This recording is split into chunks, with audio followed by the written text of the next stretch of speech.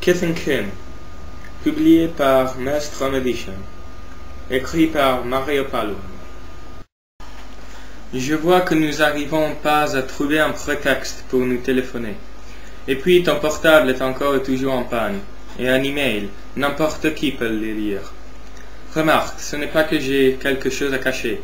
Bref, il ne me reste que d'écrire des lettres. Ce n'est pas un problème. Tu dis si j'ai passé un bon week-end Tu vois, je divague. Je fais moi-même les questions et les réponses. Les questions que je voudrais t'entendre me poser de vive voix. Les questions qui témoigneraient d'un minimum d'intérêt à mon égard. Pathétique, hein? On serait là, dans ce bar au pied de la colline, à bavarder, en attendant que le garçon nous apporte du thé. Quand est-ce que je pourrais encore te voir? Même avec ta petite fille, bien sûr. Elle est toute simplement adorable, comme sa mère.